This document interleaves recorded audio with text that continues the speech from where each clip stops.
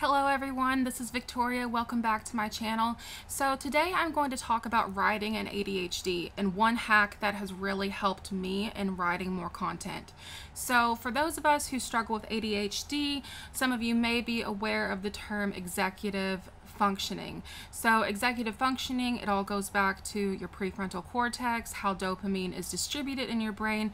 And, you know, long story short, um, you know, sometimes with ADHD, you have trouble committing to tasks and finishing projects.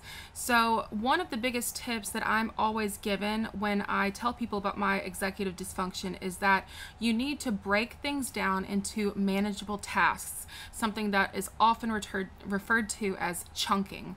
So how can we do this in our own writing? Well, you can do this by implementing short chapters.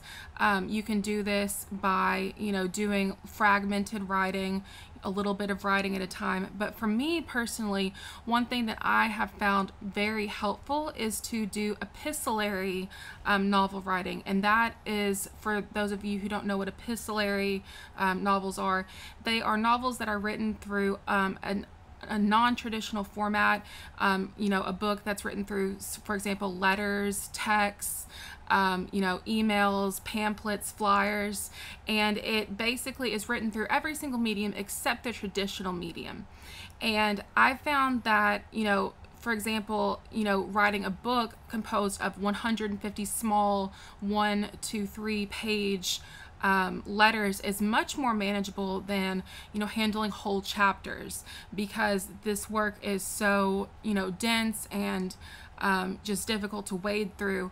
And I don't know, that is a tip that has helped me. I wanted to share it with you um, and just see what tips and tricks do you use for writing with your ADHD because for me, um, you know, stuff like this and chunking things into manageable tasks, that is invaluable for me. So, you know, comment down below, like, subscribe, all the good things, and I will see you back here next time. I hope that this helped. Bye, guys.